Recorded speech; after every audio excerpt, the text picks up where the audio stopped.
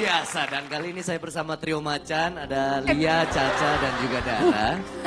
Eh dan turun dong. Bukan Caca dong ini, Nela Karisma. Nela Karisma, ajaran goyang. Ajaran goyang. Dia tahu. Oke, siapa ini Gracia? Ini namanya Ibu Rustia, tepuk tangan dulu dong. Ibu Rustia Acep ini nanti akan menunjukkan bakatnya di panggung bukan bakat biasa, betul ya Bu ya? Tapi yang pastinya Acep ini peserta kita di bukan bakat biasa ini berbeda dari teman-teman yang lain sama peserta-peserta yang lain. Sebutannya Acep apa Hacep? Hei, kalau hacep mah ajep ajep, ajep ajep. Yang dia, kalau Acep ini hari ini mau nunjukin apa di bukan bakat biasa? Ya biasanya Acep the break dance. Orang Sunda mah dance gitu break kan. ha, pakai D sama E sama N, dance. Sama Mas Silvi, kamu dari Taisik juga kan? Tasik, Tasik. Tasik. Tasik. Ini dia Acep dari Tasikmalaya. Halo semuanya, selamat malam.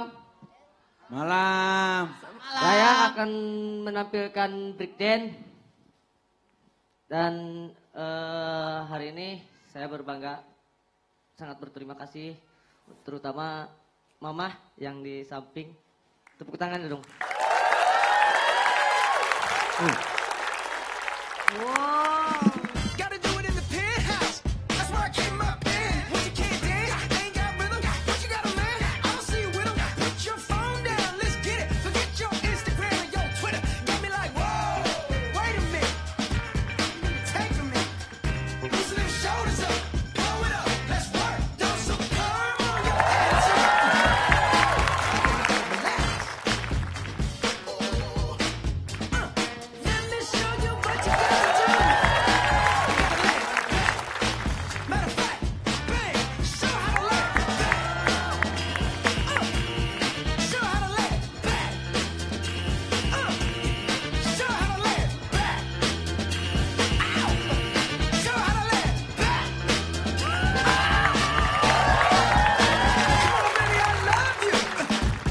don't.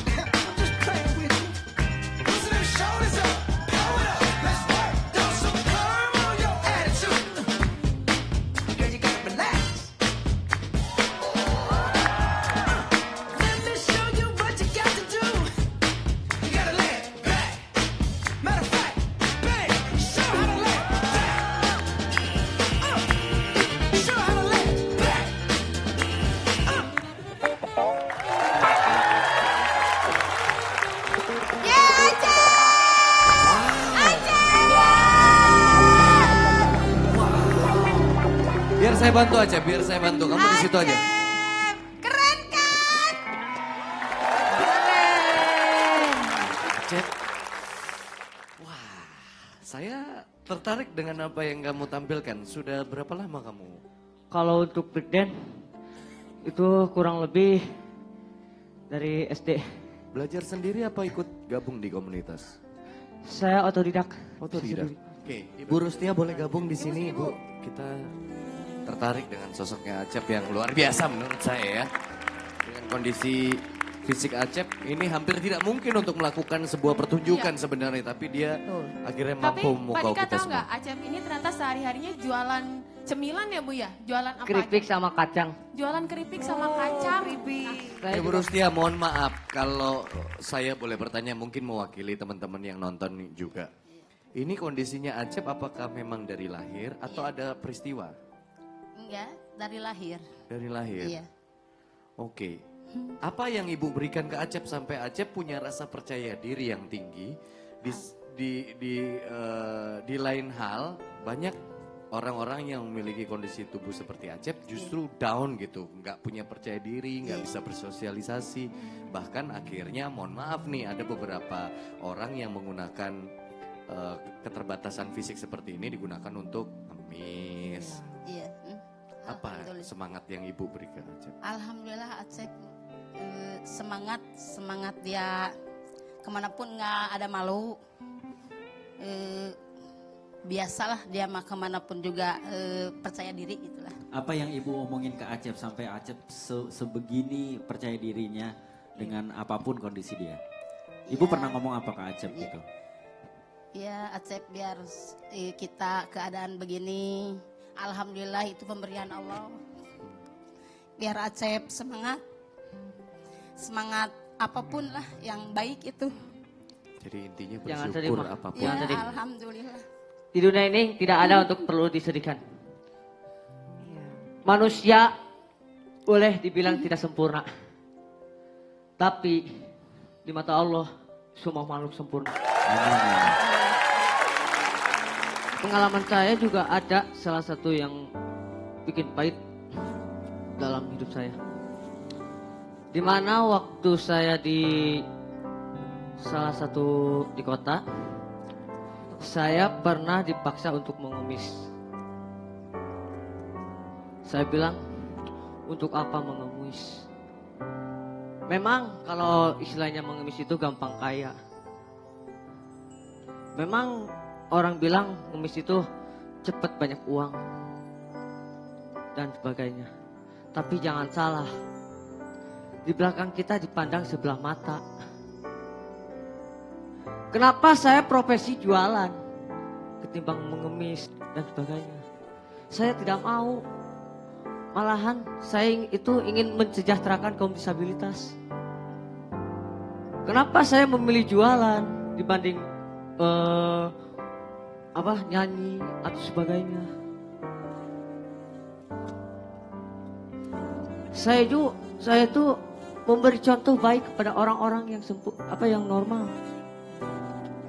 Bahkan kemarin juga waktu beberapa beberapa minggu belakang, alhamdulillah saya dapat penghargaan di salah satu teater di Tasikmalaya. Mudah-mudahan terus bisa menginspirasi ya Cep ya. Karena nggak banyak orang-orang punya semangat jiwa yang tinggi di tengah sebuah keterbatasan.